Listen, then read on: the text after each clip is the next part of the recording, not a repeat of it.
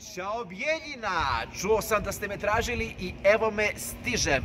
Nevjerovatna priredba, priče i pesme. 6. april, bioskop sala, bit će neka komedija.